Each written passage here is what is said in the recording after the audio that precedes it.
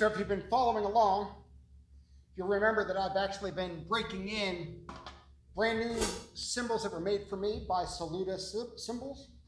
These are custom made. These are the Earthworks Hybrid Series. Sizes are 15 inch medium hi-hats, 21 inch medium ride, 18 inch, 19 inch, and 20 inch medium thin crashes. I've been breaking them in with mallets the last couple of weeks.